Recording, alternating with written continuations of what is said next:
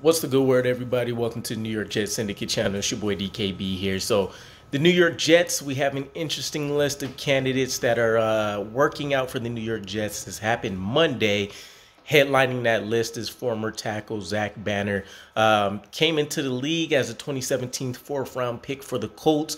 Got some experience with the Browns. Uh, made his most memorable moments with the Steelers. Uh, tell me if this story sounds familiar, but a larger than life size man, six foot eight, 358 pounds, uh, that has some weight concerns surrounding him, right? At least heading into the NFL, um, was able to kind of get things straightened out, as I mentioned, by the time he got settled in with the Steelers. Um, but 29 year old guy, uh, we're essentially looking at, you know, what Mekhi Becton's career could ultimately end up looking like here um, if he can't, you know, maintain uh, his leg and his weight. Um, but things are looking up for both of these guys. Mekhi Becton's been a stalwart for us lately um, in the limited amount of times that we've seen him. Uh, as for Zach Banner, this is his first real stint into looking at trying to get back into the NFL. He hasn't played since 2021 um, when he was with the Steelers, and that was due to an ACL that he suffered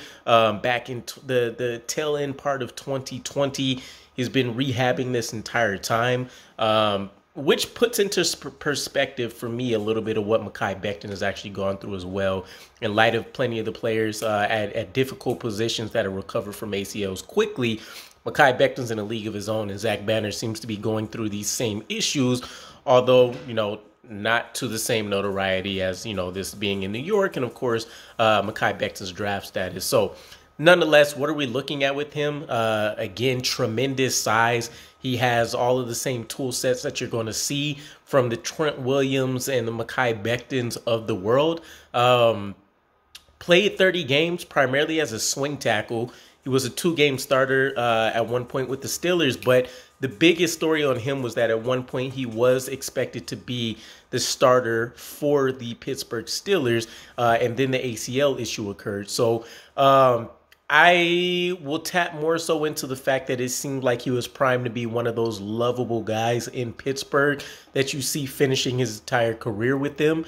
Uh, of course, obviously prior to him getting cut, but that definitely seems more injury related than skill set wise. So this could be one of those prime pickups if it works out in the New York Jets. In fact, did love his workout where uh, he's a guy that comes out of nowhere and earns, uh, you know, uh, uh probably a, an underrated role for the team, right? I don't think he'll find a way to be the primary swing tackle. Um, but if you can find a way to get him onto the squad, I, I don't see who he'll make it over per se unless an injury occurs. Knock on wood, of course. Uh, but this is definitely a guy that you could get excited about, right? If you uh, let him come in, continue to rehab, he, you know, gets into the swing of things with understanding how this offense wants to operate.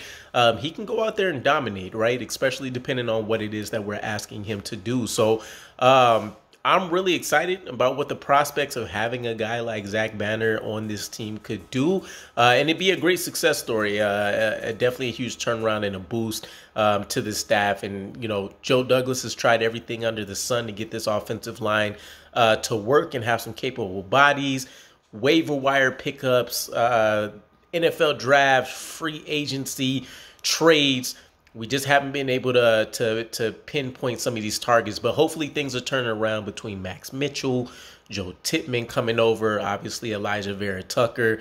Um, so we'll see how things pan out. But keep an eye on this Zach Banner. We could see a signing for him coming down the pipeline, especially since Yodny Cajuste, uh, the tackle that we had picked up a few weeks ago, maybe about a month or so now, uh, he's down with an injury. So you want to kind of try to replace a body anyways. Zach Banner's healthy enough to work out. He can definitely figure out a way to uh, get on the squad and make some noise. So let me know what your guys' thoughts are. Zach Banner, uh, would you sign him uh, if he ended up, uh, well, I guess impressions won't really matter. We'll find out here soon. But uh, ultimately, would you guys sign him if he's actually available and he, you know, deems to be fully healthy?